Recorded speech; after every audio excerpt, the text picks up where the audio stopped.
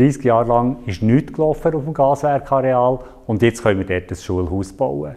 Ich bin froh, dass sehr rasch das gebaut werden kann, weil es sind Modulbauten und schon im Herbst 2025 können die Kinder dort in die Schule gehen. Das wird ein sehr schönes Schulhaus sein, im Grünen, direkt an der Aare, hinten am Gaskessel. Das werden glückliche Kinder sein, die dort in die Schule gehen dürfen. Merci für das Ja bei der Abstimmung.